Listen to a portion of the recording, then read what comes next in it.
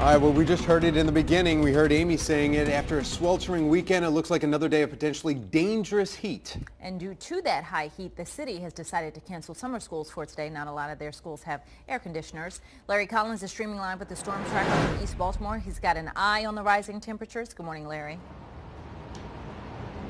Good morning, that's right. We are live outside the school district headquarters where that call had to be made this morning to cancel those classes. It really is, they say, for public safety for those students who would go to some of those programs. But we do want to remind you that the summer feeding program will continue today. That's for breakfast and for lunch. This comes after a weekend that saw some very high temperatures, two days of code red warnings within the city of Baltimore.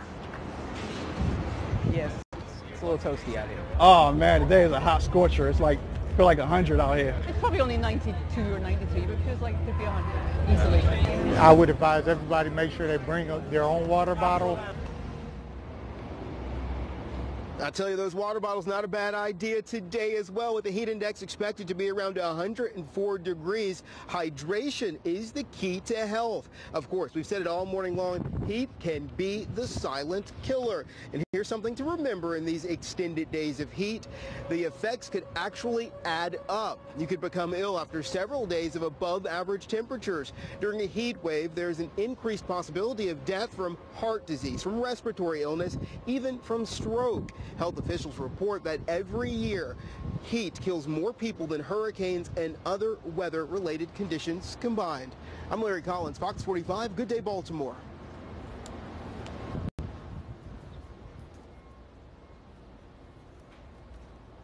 All right, Larry, thank you. We have an update this